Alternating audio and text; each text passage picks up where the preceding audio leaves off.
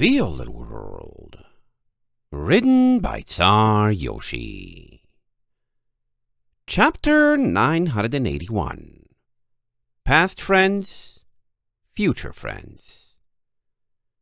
Starlight read a whole entire page of Fluffy Fleece's sketchbook before it thoroughly snared her attention. The inside of the cover was a table of contents, but Starlight had read textbooks before and this wasn't like any she had ever seen. Because this wasn't a textbook, it was a picture book, and Fluffy had made the directory a picture. It was a borderless drawing of a wide open room, presumably her bedroom, drawn with straight lines and cluttered with furniture and an organized, scribbly mess that would be at home in any normal filly's room. A self-portrait of Fluffy herself sat hunched over on the bed, glancing back and forth between her workspace beneath her and a self-facing mirror propped up in front. At first, Starlight thought it was a self-portrait of Fluffy making a self-portrait, and that was impressive enough. She couldn't even count how many viewpoints her new friend would need to imagine at once to properly draw this, let alone imagine them herself. But the longer she looked, the more she paid attention to the rest of the room, and the more she realized the point of his sketch wasn't a self-portrait at all. The walls were mounted with mirrors clad in elaborate frames, and more mirrors sat on the floor or were propped against a bed or hung from the ceiling at awkward angles. Starlight first thought they were framed drawings, but that clearly wasn't so.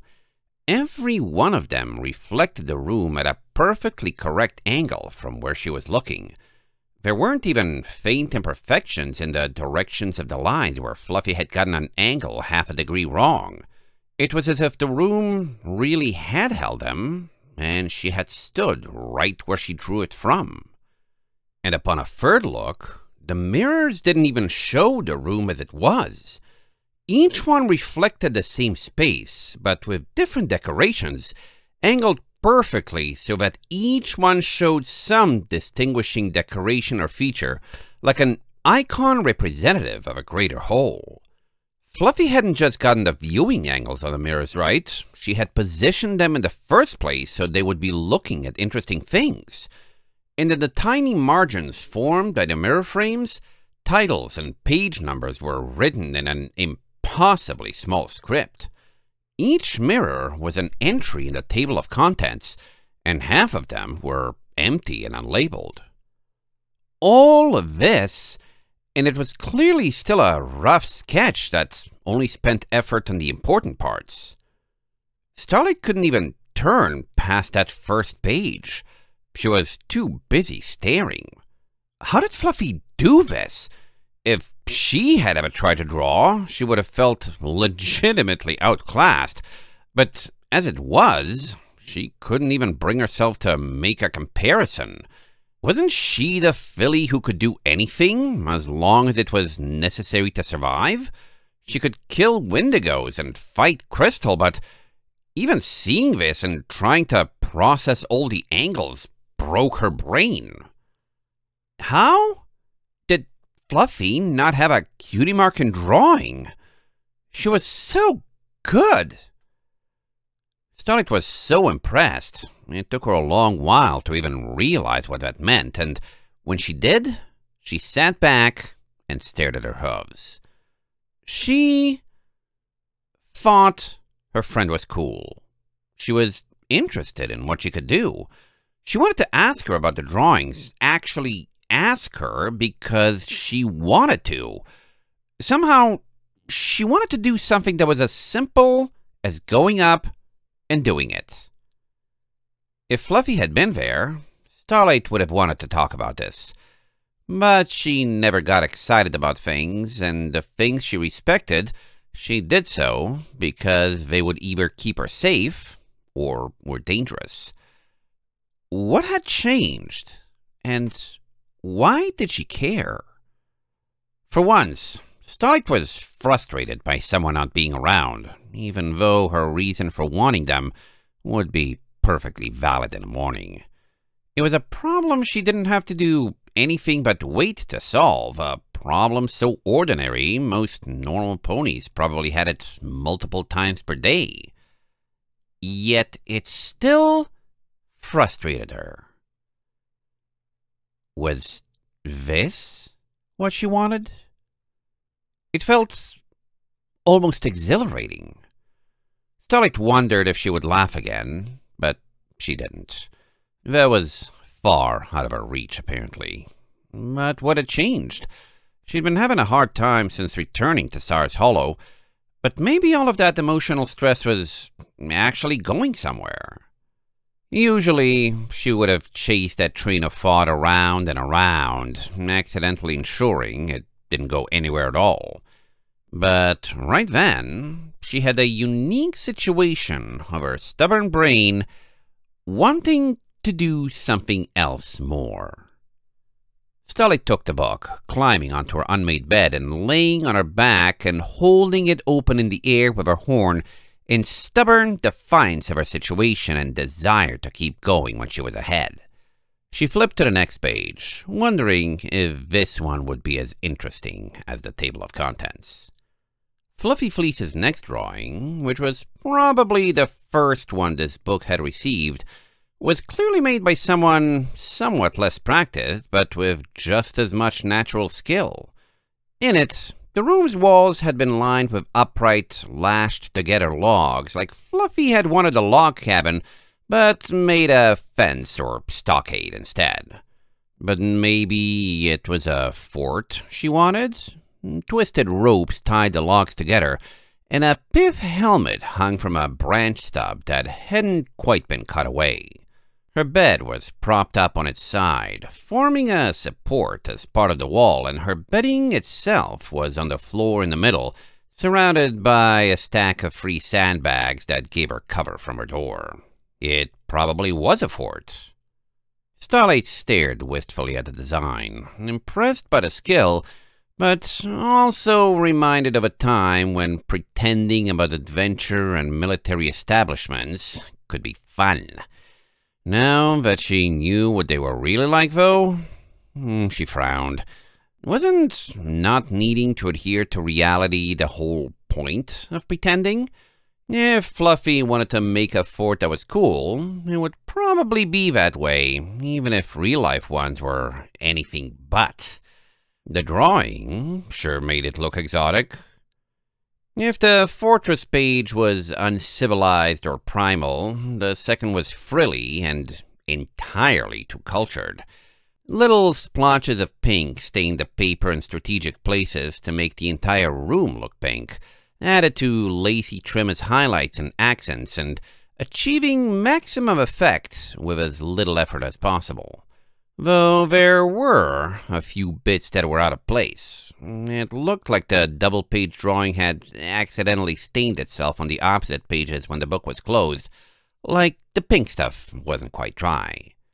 Starlight sniffed it, and it smelled very faintly reminiscent of jam jars.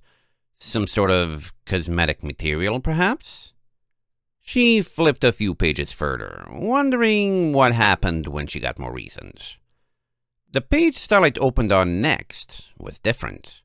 Rather than fantasizing or wishful thinking, this was a grid of miniature top-down blueprints for furniture arrangements, each one keeping the same door and window placement, but moving around Fluffy's bed and other effects. The whole set of prints only took up one page, and the page across from it was filled with detailed notes titled what to do with my new bookshelves. Some of the blueprint panels used the bookshelves as room dividers, others split them up along multiple walls, others had them side by side, and another had them back to back. The notes looked like a comprehensive analysis of the pros and cons of each position. Starlight read about half of them, utterly baffled by their existence. No one needed this much thought to choose what to do with the room layout. Absolutely no one. And yet, here this text made it plainly obvious just how much thought Fluffy put into this, though she didn't need to spend it all.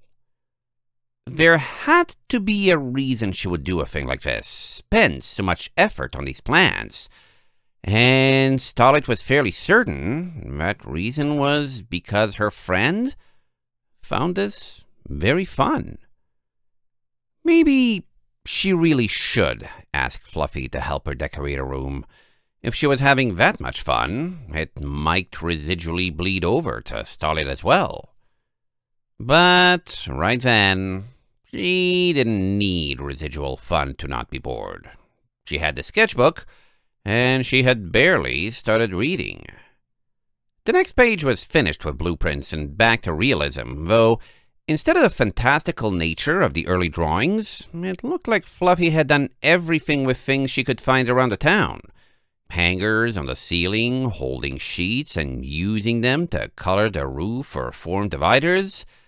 The drawing was a cutaway, allowing her to see several different sections of the room, rather than looking from inside it.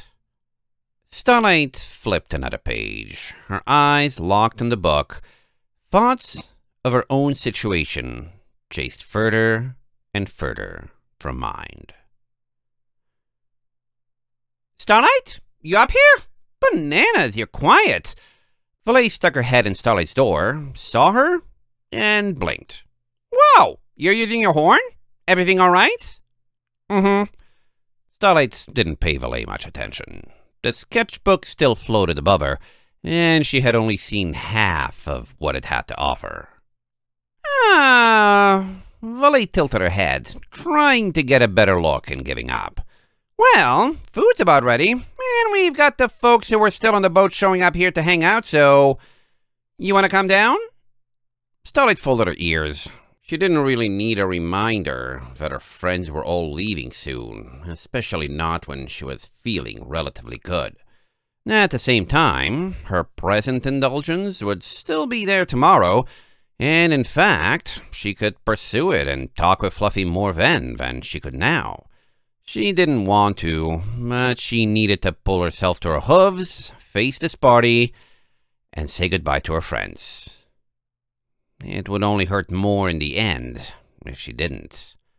I'm coming, she grunted, closing the sketchbook and letting her horn go out, rolling to her hooves.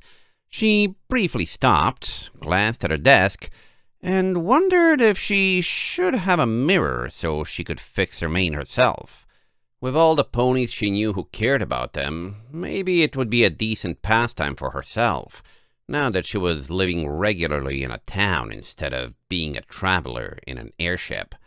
But she didn't have a mirror, and she didn't have time, so she would stay the way she was for tonight. The hallway and kitchen were brightly lit and loudly decorated, just like something Fluffy could have made up. Maple was bustling about the kitchen, Shinespark was absent, and Gerardo and Amber were chatting and sampling food and waiting for everyone else to arrive. Starlight, Amber greeted, the filly instantly catching her attention. What's up? Where were you? In my room, Starlight replied, even though the question more likely meant to ask what she had been doing. I'm better than I could be. Well, that's the goal. Amber flicked at a low-hanging streamer with her tail. We put a lot of effort into all this. We've Gotta pause things on a positive note, so you've got at least a little something to tide you over until we get back.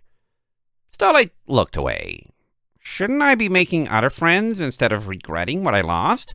Otherwise I'll live in my head and stay lonely. Amber smiled gently, ruffling her mane. Starlight, you gotta do that too. But that's no excuse not to hold on to us at least a little. Just because we'll be away for a while doesn't mean we're no longer your friends. Indeed, Gerardo agreed, sipping from a glass something that looked like punch. Shinespark is off rousing the rest of our crew. After all, you can't go through all we have together without a real proper send-off. His voice quieted. I know it's no perfect answer, and not what you've been hoping for all this time, but do bear in mind that if nothing else, we're fully intending to return. Starlight bit her lip. Being told to hold on and wait for them to get back uh, wasn't conducive to letting go. Why did they have to have a party anyway? She knew it would be hard, picking up the pieces after it was over, but at least she would have no choice and a chance for work to pay off and make her future better from there. But waiting, delaying the inevitable fall, it would be far better to rip away the waiting and anticipation. Hardships were always harder when the future was inevitably bleak. She knew she was better at coping with hope on the horizon. The moment her defenses broke again, the way they had been cracked dozens of times already that day, still having the parting in the future would just make it hurt even more. But her friends were adamant that this party would help, and she trusted them. So she would do her best to have a very good time. End of chapter 981.